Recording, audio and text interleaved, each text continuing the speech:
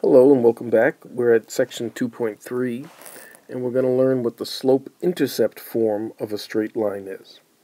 And this is a much more uh, reliable and quick way of graphing a line rather than just making a table of values. And just to make sure that we are clear on this, we know what the slope is now. The intercept, or really more specifically the y-intercept, is the y value where the graph intersects the y-axis. And that's a very special point, and it's nice to keep track of that. So that's what we mean when we say the intercept, usually the y-intercept. So let's suppose that some line has a slope of m and a y-intercept of b. If the y-intercept is b, that means it goes through the point 0, comma b. And let's assume that xy is any other point on the line.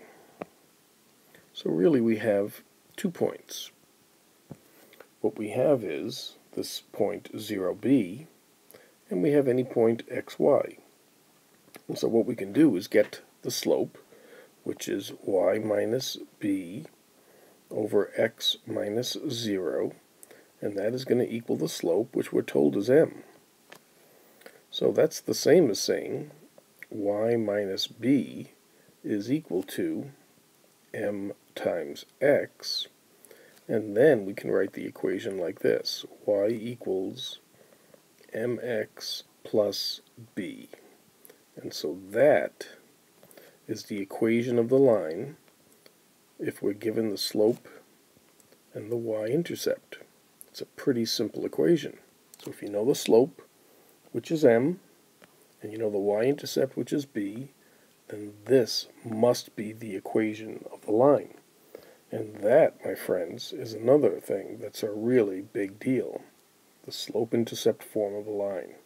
Very important. So just as a really simple example, suppose we're told that the slope of a line is minus 2 thirds and the y-intercept is 5. Then what's going to be the equation of the line? Well, we just simply plug into that form and y is equal to m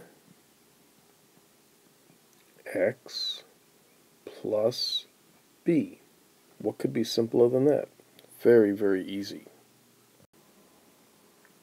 So there are a lot of ways that lines can be written, a lot of forms of a line. This is known as standard form. But suppose we want to change it from standard form to slope-intercept form. If you look at slope-intercept form, the real big characteristic of this is that it's solved for y, that y is all by itself.